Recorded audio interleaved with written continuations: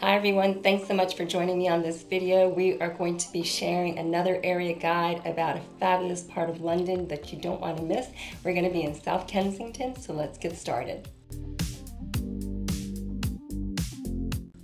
Hi everyone, thanks so much for checking me out again on another episode of my YouTube channel. I'm Ugo Arinzeh with Onyx Property Team and Keller Williams. I am a London-based property agent. I love helping my clients buy, sell, rent, and manage property throughout the city. Um, I work with a lot of international buyers as well as people here who are here in the UK.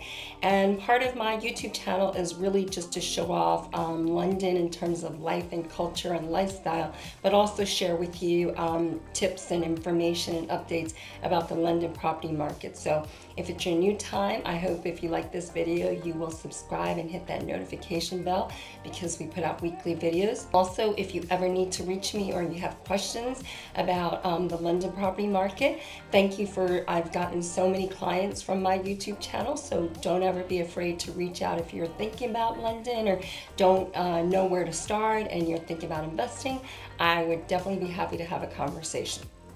So obviously, if you are thinking about London or trying to get more familiar with it, it's really important that you know where you might want to live. And so the area guides are really to try to feature um, some popular areas, but actually some areas that you might not uh, have heard of before. But in this video, we're talking about South Kensington, which definitely ranks among most international buyers. You know, will definitely top their list of places where they would love to live if they can afford it. And so let's dive in as to what makes South Kensington so special. So, South Kensington is one of the most affluent and prestigious areas of London. It borders Knightsbridge, Kensington, and Chelsea, located kind of in southwest London. And it's really known not just for its gorgeous housing, but an incredible location for art, lifestyle, and culture. Let's start off with culture, and I couldn't share um, South Kensington with you if I didn't talk about its cultural scene. And one of the things that makes it so special are some of the museums that are located in South Kensington, including my absolute favorite, which is the V&A Museum. It's a great museum for textiles and design and just really art and culture, and not just really about paintings. It houses a permanent collection of over 2.27 million objects. And what's great about the location is it's on Exhibition Road along with the Natural History Museum. So if you love our planet and want to learn more about the planet, the Natural History Museum is also an incredibly gorgeous building. Um, and you can check that out nearby as well. And it's actually a great skating rink, ice skating rink in the winter time as well. And then it's also got the Science Museum, which is a great hands-on location for families and young kids. And so all three are located on Exhibition Road. So at one end of Exhibition Road, you start out at South Kensington Tube Station. At the other end, you end up at Hyde Park. And also nearby is the Royal Albert Concert Hall, which is an incredible premium uh, venue for um, live performances. So again, just in a really small, tight area, you've got some incredible museums, you've got the restaurants around South Kensington Station, and you've got Hyde Park. Another great reason that South Kensington is so popular is that it's got a really strong concentration for the French community. I think it's actually one of the largest French populations outside of France. If you're strolling along Bute Street, you'll find yourself in Petit Paris actually. You've also got the Institut Francais and Cinéma uh, Lumiere, which will make the French francophile feel very much at home. You've also got the Lycée Français Charles de Gaulle, which is a primary and secondary school, French day school, if you want your young people immersed in French culture. Along the way, you've got other French little pastries and uh, bistros and things like that around as well. If you're looking for shopping, South Kensington's got too many fabulous boutique uh, shops to name. So let's highlight some of the um, mega stars of the area. South Kensington is really right next to Knightsbridge, so you've got access to Harrods, which is you know one of the world's most famous um, uh, shops. And in there, you've got over a million square feet across seven floors, where you can really spend an entire day um, in this shopping haven.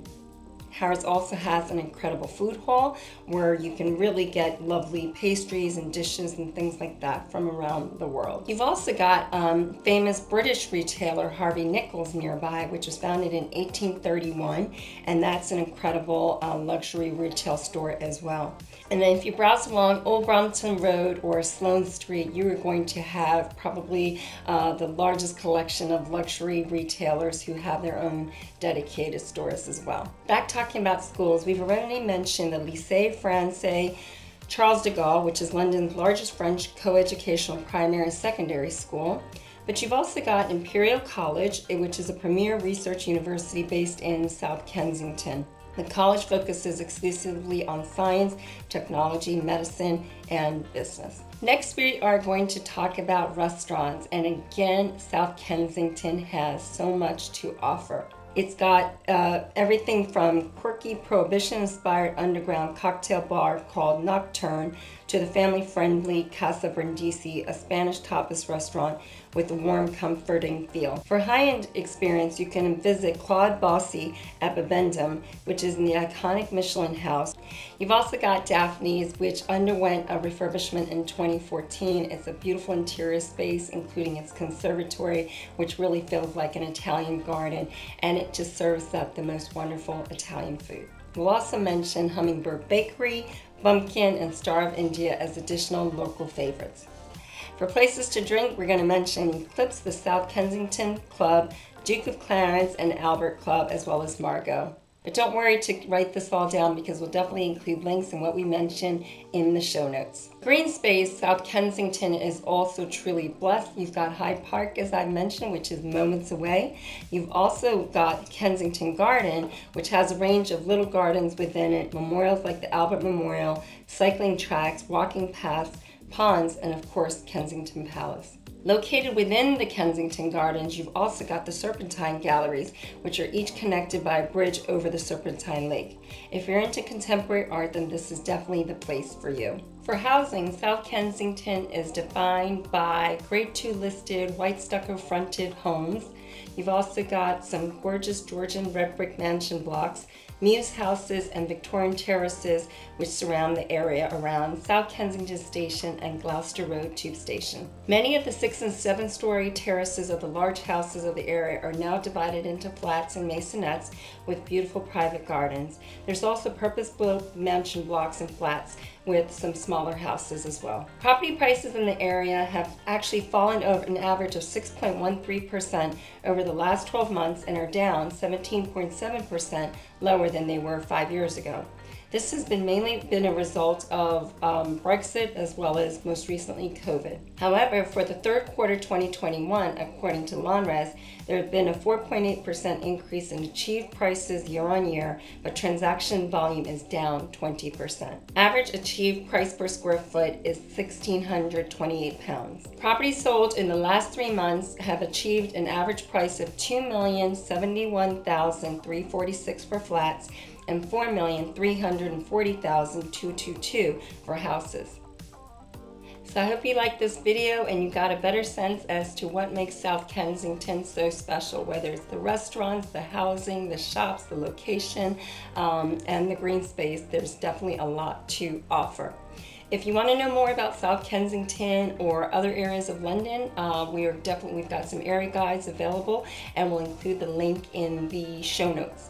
If you like this video, I hope you'll hit that like button to let uh, YouTube know I'm doing a great job, and I'll see you in the next video. Bye for now. Thanks so much for watching. Make sure to check out my other videos on my YouTube channel where I share great tips and information about the London property market and living in this fabulous city. So that's Ugo Arinzeh with Onyx Property Team and Keller Williams. Bye for now.